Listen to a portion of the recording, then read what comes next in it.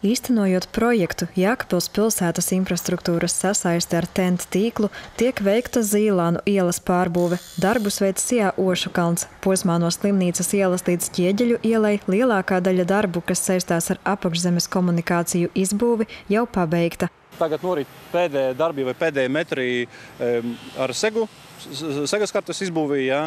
Sēgas kartu mēs līdz Kembai. Jā, šajā posmā izbūvēsim mm, pa lielam līdz 13. E, e, septembrim. E, tālāk notiks apmaļu izbūvē un asfalta kartes ieklāšana. Jā, pirmās asfalta kartes ieklāšana.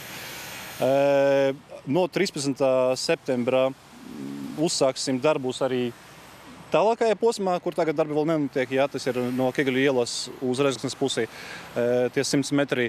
Tur notiks asfalta demontāža, komunikācija izbūvē un tad segas kartes izbūvē. Ja. Septembra beigas nu, notiks arī rakšanas darbi, arī pie dzelzceļa pārbrauktuves.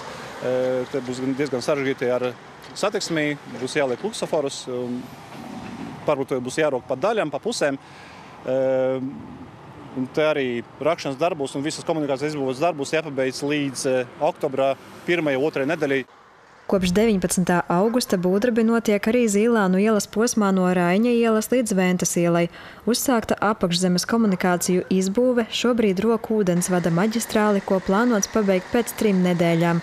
Oktobra sākumā tiks uzsākta ūdensvada atzaru izbūve pie īpašumiem un lietus ūdens kanalizācijas izbūve. Savukārt līdz ziemas sezonas sākumam paredzēts šajā Zīlānu ielas posmā nodrošināt asfalta apakškārtu, lai ziemas laikā posms būtu izbraucams ar automašīnām. Būvnieki gan uzsver, ka viss atkarīgs no laika apstākļiem, kas šajā objektā var sevišķi negatīvi ietekmēt darbu norisi. Šajā posmā apakšā ir mals.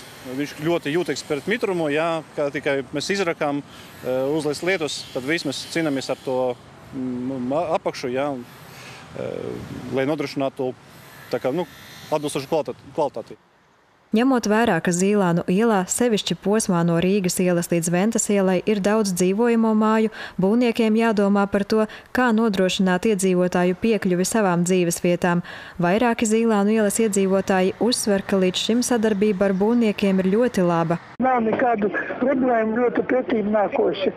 Un, uh, viņi skatās, lai, lai varētu iekļūt, pajautā pat, vai viss ir kārtībā. Visvairāk es uztraucos, ka būs tranšīs jā, rokam ielu visa platumā, pilna dziļumā un e, rokam pa posmiem, jā, pa 20-50 metriem. E, un cenšamies to posmu izrākt, e, uz, uzlais, uzbūvēt jaunu segumu un tad nodrošināt piekļuvi vai nu no vienas puses, jā, pa esošu segumu, vai no otras puses pa jaunu izbūvētu segumu.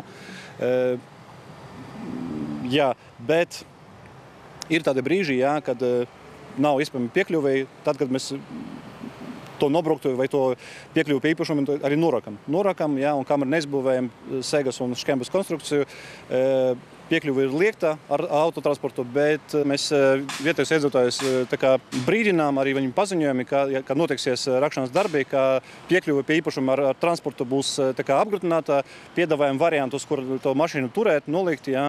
Atgādinām, ka sākotnēji pašvaldība pauda vēlmi pagarināt būvniecības termiņu un būvdarbus posmā no Rīgas ielas līdz Ventas ielai uzsākt tikai nākamgad, lai nebūtu tā, ka ziemas sezonā iela paliek slēgta satiksmei, bet Centrālā finanšu un līgumu aģentūra, kas pārauga Eiropas Savienības līdzfinansēto projektu norisi, šādu ierosinājumu neatbalstīja.